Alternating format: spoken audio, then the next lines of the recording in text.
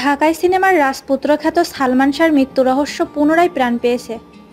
এ ঘটনায় দায়ের করা মামলা সাত নম্বর আসামি রুবি সম্প্রতি একটি ভিডিও বার্তায় দাবি করেন, সালমান শাহ হত্যার সঙ্গে তার স্ত্রী সামিরা সরাসরি জড়িত।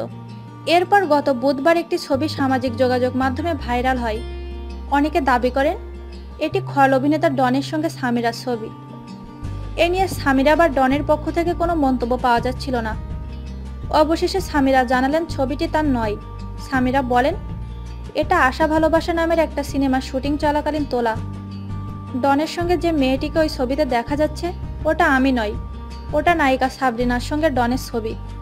ওই ছবিটা সালমান ভ্যান্টিলেটরের ফাঁক দিয়ে তুলে ডনের সঙ্গে শয়তানি করে। এরপর ডন এই ছবি নেওয়ার জন্য সালমান শাহের পেছনে তিন দিন ঘুরেছিল।